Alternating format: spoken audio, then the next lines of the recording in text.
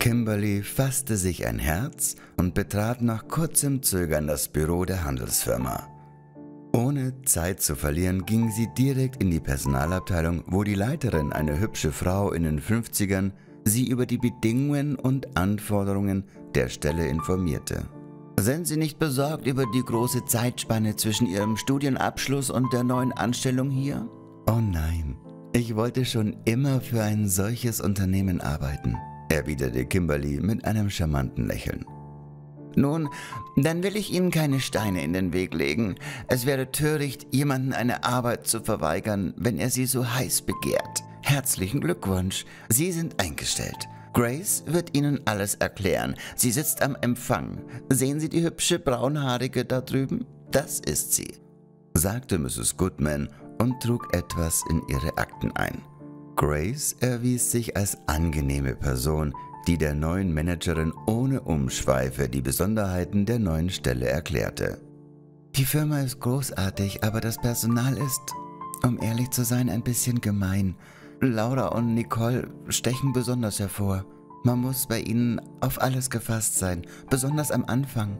Also rate ich dir, die Augen offen zu halten. Ich empfehle dir auch, den Computer nie eingeschaltet zu lassen und ein Passwort festzulegen. Zu deiner Sicherheit, sagte Grace und gab Kimberly die Hand. Am nächsten Morgen erschien Kimberly früh im Büro und erntete einen anerkennenden Blick von Mrs. Goodman. Oh, du bist eine Frühaufsteherin, Unsere Büroköniginnen kommen erst um neun zur Arbeit, bemerkte Grace, die die neue Mitarbeiterin schon in ihr Herz geschlossen hatte. Kimberly bekam einen Schreibtisch in der hintersten Ecke des Büros, sodass sie praktisch von neugierigen Blicken verborgen war. Sie schaltete sofort ihren Computer ein und begann mit der Suche und Bearbeitung von Aufträgen. Aber noch bevor sie eine Stunde gearbeitet hatte, wurde sie von zwei elegant gekleideten Frauen angesprochen, von denen die eine sagte, Oh, du bist die Neue, nicht wahr? Warum machst du uns nicht einen Kaffee? Kimberly nickte nur, ohne darauf etwas zu entgegnen und setzte unbeirrt ihre Arbeit fort. Sie hatte bereits vermutet, dass es Laura und Nicole waren, vor denen Grace sie gewarnt hatte. Eine Stunde verging und die frechen Frauen warteten immer noch auf ihren Kaffee. Schließlich, als sie es nicht mehr aushielt, kam Nicole auf sie zu und fragte trotzig, Ich verstehe nicht. Wo ist unser Kaffee? Darauf schenkte Kimberly ihr ein argloses, offenes Lächeln und sagte betont respektvoll, Ich schätze, euer Kaffee steht noch in der Küche. Er wird sich nicht alleine zubereiten. Nicoles Augen weiteten sich und ihr Gesicht wurde rot vor Wut. Also gut, wenn du es auf die leichte Tour nicht verstehen willst, sagte die Frau wütend, drehte sich auf den Absatz um und ging zu ihrem Schreibtisch zurück. Kimberly musste sich ein Lächeln verkneifen und setzte ihre Arbeit fort, als ob nichts geschehen wäre. Als das Büro in die Pause ging, kam Grace auf sie zu und sagte, Das Hättest du nicht tun sollen. Jetzt werden sie dir das Leben zur Hölle machen. Nicole wird von ihrer Tante, der Hauptbuchhalterin, unterstützt. Deshalb tut sie so, als ob sie sich alles erlauben könnte. Außerdem glaubt sie, dass der Direktor ein Auge auf sie geworfen hat. In jedem Fall hast du dir heute einige Feinde gemacht. Das ist kein Problem. Wir werden sehen, wer länger durchhält, erwiderte Kimberly lächelnd und machte sich an die Arbeit. An ihrem ersten Tag im Büro hatte sie doppelt so viele Aufträge bearbeitet wie Laura und Nicole zusammen. Kimberlys Geheimnis war einfach. Harte Arbeit und Ausdauer. Und die unfreundlichen Kolleginnen machten sich nicht an die Arbeit, bevor sie nicht ihren Kaffee getrunken und sich ausgiebig unterhalten hatten. Daher rührte ihre niedrige Produktivität, die dem Wohlergehen des Unternehmens abträglich war. Natürlich blieb Kimberlys Fleiß nicht lange unbemerkt, was Laura und Nicole nur noch wütender auf sie machte. Meistens drückte sich die Abneigung der Kolleginnen in Gemeinheiten aus, mit denen sie Kimberly von Zeit zu Zeit ärgerten. Dann war ihr Stuhl klebrig, der Schreibtisch schmutzig oder auf die Tastatur hatte jemand Kaffee verschüttet. Mit der Zeit gewöhnte sie sich an die Boshaftigkeiten von Laura und Nicole und bevor sie sich an ihren Schreibtisch setzte, überprüfte sie als erstes ihren Stuhl auf Flüssigkeiten. Kimberly hatte etwa einen Monat lang im Büro gearbeitet. In dieser Zeit hatte ihr außer Grace am Empfang und Mrs. Goodman niemand Zuneigung gezeigt oder Gesellschaft geleistet. Alle warteten gespannt darauf, dass Laura und Nicole die motivierte Mitarbeiterin aus dem Büro vertrieben, wie sie es mit Grace getan hatten. Auch sie wollte unbedingt als Managerin arbeiten und Abteilungsleiterin werden – aber ihre unausstehlichen Kolleginnen gaben mir nicht den Hauch einer Chance. Also bot ich Grace die Stelle im Empfang an. Glauben Sie mir, ich habe es nicht bereut, dass ich mich für Sie entschieden habe, sagte Mrs. Goodman stolz. Nun, ich weiß nicht. Wenn es nach mir ginge, hätte ich diese faulen Dinger, die nur schicke Klamotten und Restaurants im Kopf haben, längst hinausgeworfen, sagte Kimberly. Die Personalleiterin schüttelte daraufhin den Kopf und meinte bedauernd, dass das unausstehliche Pärchen einen einflussreichen Gönner hatte. Aber Kimberly hatte ihre eigene Meinung zu diesem Thema und im Gegensatz zu den übrigen Mitarbeitern des Büros wusste sie mehr, als es auf den ersten Blick schien. Sie kam nämlich mit einem luxuriösen Wagen der Oberklasse zur Arbeit, den sie umsichtig auf dem gebührenpflichtigen Parkplatz zwei Blocks vom Büro entfernt abstellte. Und Kimberlys Ehemann war derselbe Gordon Smith, der Besitzer der Handelsfirma war. Vor etwa einem halben Jahr hatte der Geschäftsmann beschlossen, die Leitung des Unternehmens an seine Frau zu übergeben.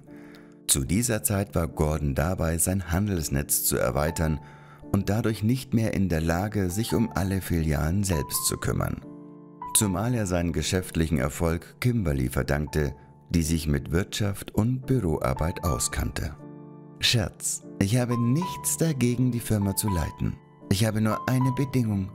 Bevor ich die Zügel in die Hand nehme, möchte ich mir das Team von innen ansehen, sagte sie und berührte die Schulter ihres Mannes. Oh, ich erkenne die alte Kimberly wieder, Schon an der Universität warst du immer für Kontrollen und Experimente zu haben, sagte Gordon mit einem Lächeln.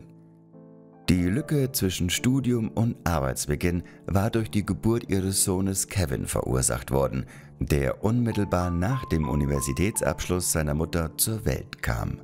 Sobald der Junge in der Obhut eines Kindermädchens bleiben konnte, half Kimberly ihrem Ehemann beim Aufbau des Familienunternehmens. Zu diesem Zweck hatte die junge Frau das Versteckspiel veranstaltet, das sich nunmehr in der Endphase befand.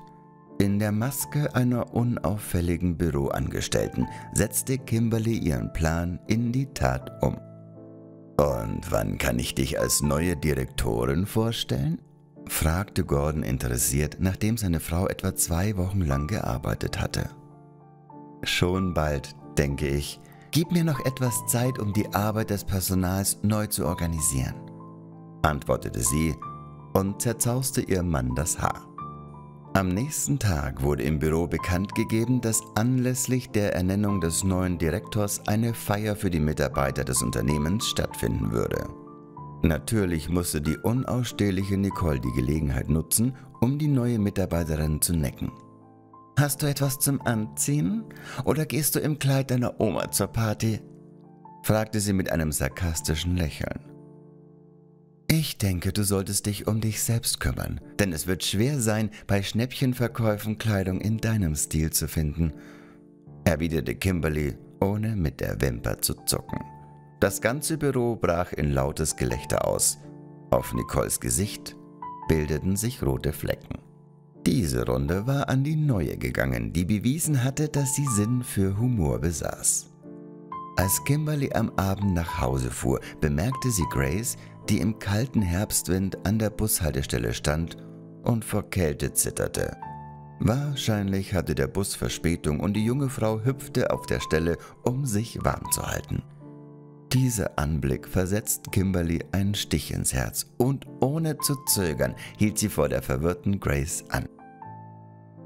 Was schaust du mich so an? Komm schon, rief sie mit einem Lächeln und bedeutete Grace einzusteigen. Ach du meine Güte, woher hast du so ein schickes Auto? Das muss eine Menge Geld gekostet haben, rief Grace erstaunt aus. Aber Kimberly winkte ab und leitete das Gespräch in eine andere Richtung. Kommst du am Freitagabend zur Firmenfeier? fragte sie, während sie ihr Fahrzeug selbstbewusst zwischen den Autos hindurch manövrierte. Wahrscheinlich nicht. Ich habe kein Kleid und im Moment keine Möglichkeit, mir eines zu kaufen.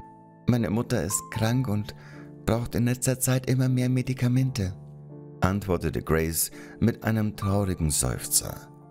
Kimberlys Herz verkrampfte sich. Die junge Frau, die ihr Bestes tat, um ihrer kranken Mutter zu helfen, tat ihr leid. Weißt du was? Warum gehen wir nicht gemeinsam in einen Laden und besorgen dir ein Kleid? fragte Kimberly. Nein, ich habe das Geld nicht und ich kann es dir auch nicht zurückgeben, antwortete Grace abwehrend. Als Antwort darauf hielt Kimberly vor der nächsten Boutique, wo sie Grace ein Kleid kaufte, das ihr gefiel. Vielen Dank. Ich weiß das wirklich zu schätzen, sagte sie mit Tränen in den Augen. Gern geschehen, meine Liebe. Wir sehen uns am Freitag auf der Party. Und jetzt bringe ich dich nach Hause, sagte Kimberly und lächelte aufmunternd. Trotz der großen Anzahl von Aufträgen schien die Arbeitswoche kein Ende zu nehmen. Als endlich der lang ersehnte Freitag kam, waren alle Mitarbeiter der Firma in freudiger und etwas ängstlicher Erwartung aufgrund der bevorstehenden Veränderungen. Jeder wusste, dass Gordon Smith, der Eigentümer des Unternehmens, heute den neuen Direktor vorstellen würde. Nicole und Laura hatten sich nach der neuesten Mode gekleidet und waren überrascht, die ihrer Meinung nach unscheinbare Grace in einem hübschen Kleid zu sehen. Aber der größte Schock ereilt die Freundinnen, als sie erfuhren, dass Gordon Smith Kimberly als die neue Direktorin vorstellte. Wie ist das möglich? Soll das ein Scherz sein? rief Laura und wollte ihren Augen nicht trauen. Liebe Mitarbeiter, um all Ihre Fragen zu beantworten, Kimberly ist meine Frau und allen Erfolg verdanke ich ihr und niemanden sonst. Deshalb freue ich mich sehr, Sie als die neue Direktorin vorstellen zu dürfen, sagte Gordon Smith in unmissverständlichem Ton. Alle Anwesenden klatschten begeistert, nur Laura und Nicole standen mit gesenkten Köpfen da. Das unausstehliche Paar begriff, dass ihre Vormachtstellung in der Firma vorbei war.